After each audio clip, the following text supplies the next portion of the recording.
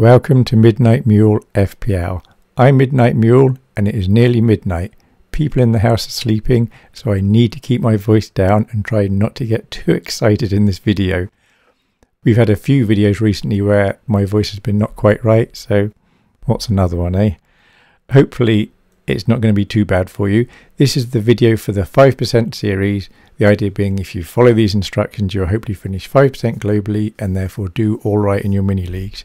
You're not going to win your mini league with this unless you're lucky, but you will do all right, and that's the point. So starting by looking at last week's scores for the players in the system, the goalkeepers, Ederson 9, Pickford 4.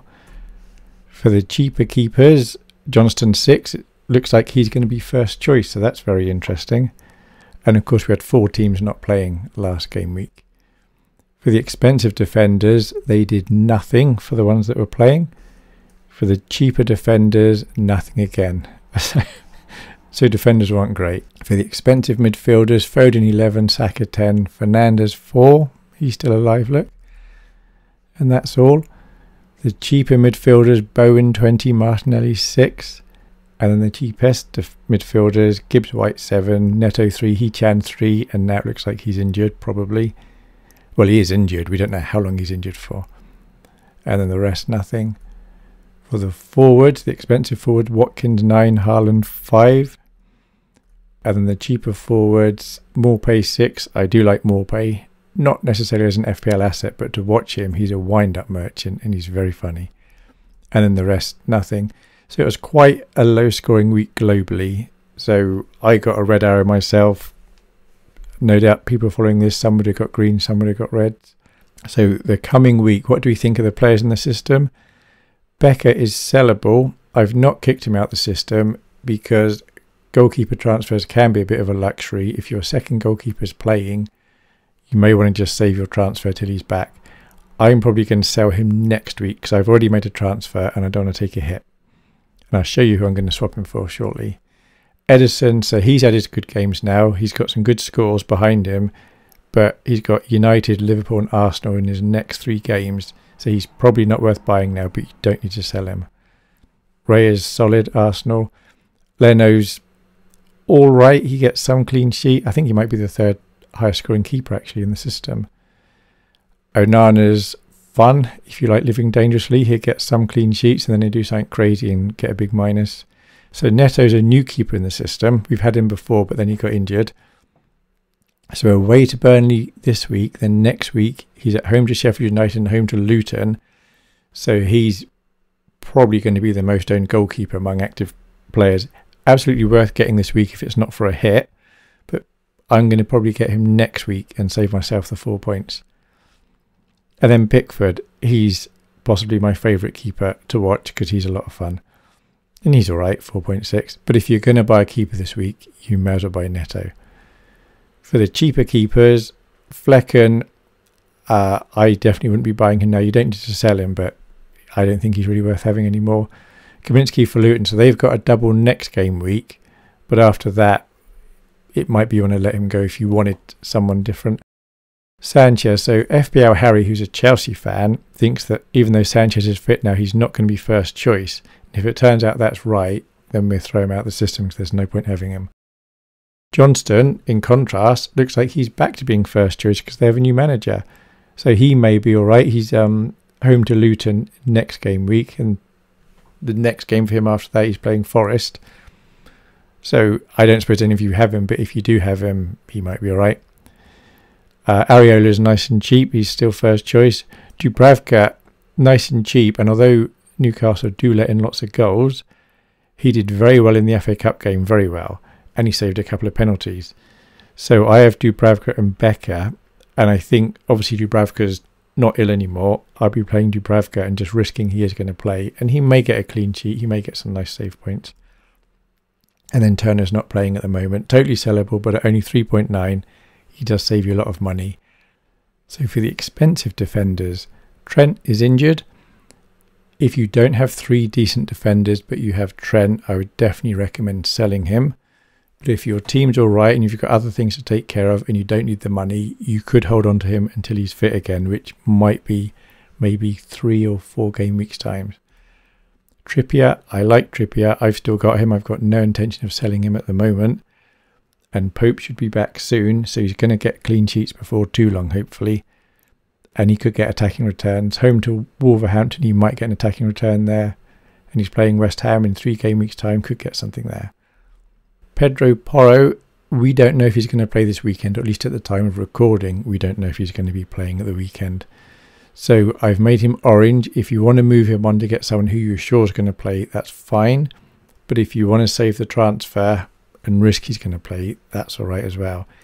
Tottenham do have nice fixtures. They've got Palace, Villa, Fulham, and then Luton.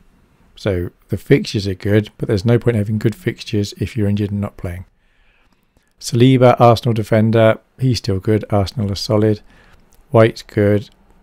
Walker, Man City, it's such a roulette with Pep which players are going to play. So that's quite a bit of money. And now they've had their double game week. He's got the next three games Man United, Liverpool, Arsenal. He's fine to move on if you want to. Keep him if you want, but you're risking is he going to play? And then Gabriel, if you've not got an Arsenal defender, Gabriel's probably the one to get.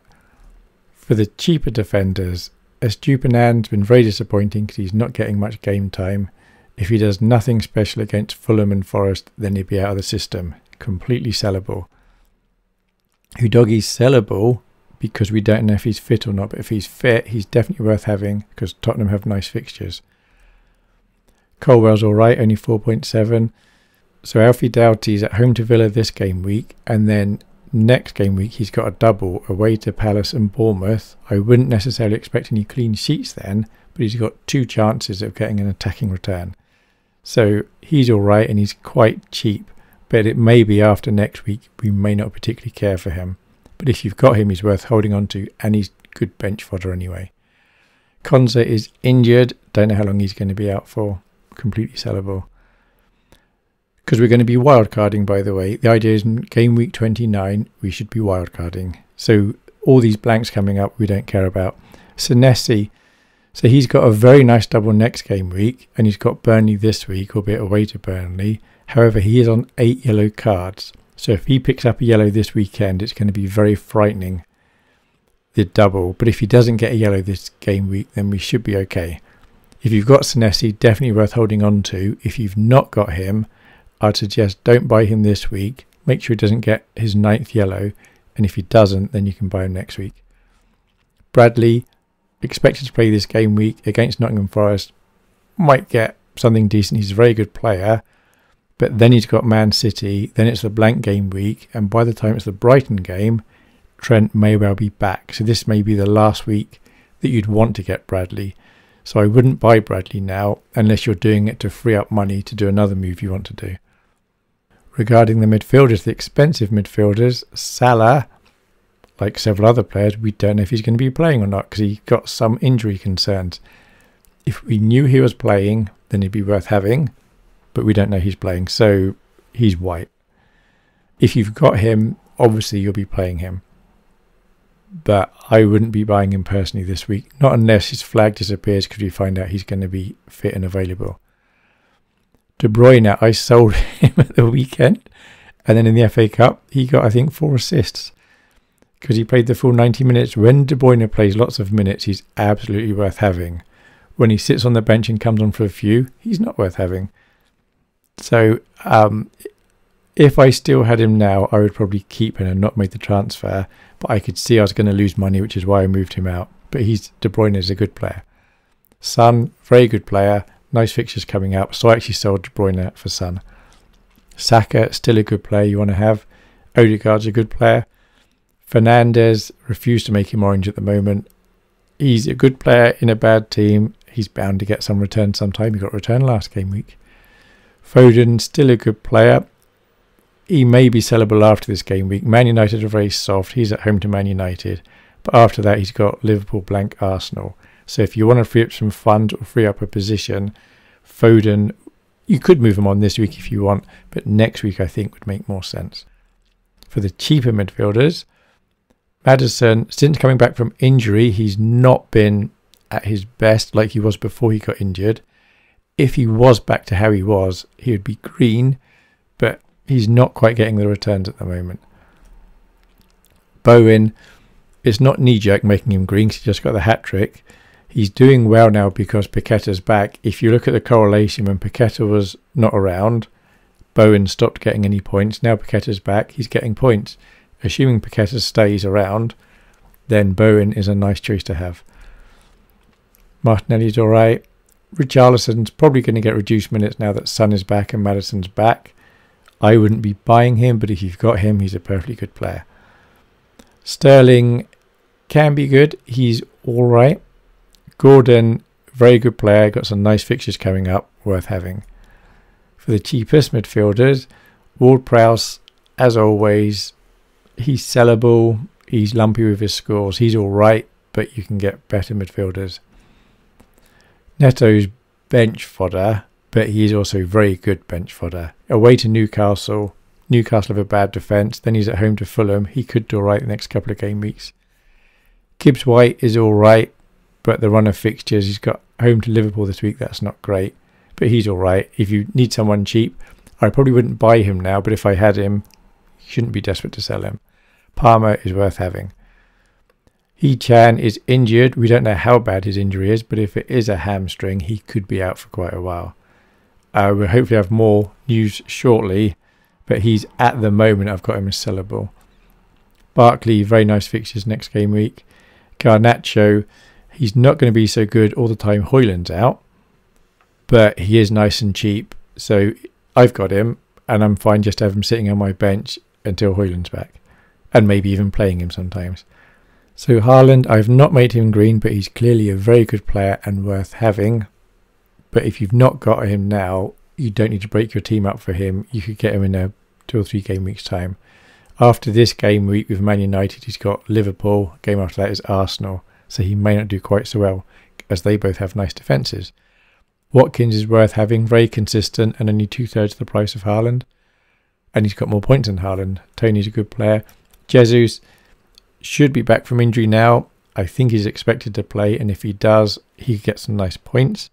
The only issue with Jesus is there's possibly three strikers better to have. But if I had Jesus, I'd be fine to have him. I wouldn't be bringing him in though. Darwin, bit of an injury concern. We don't know if he's playing or not.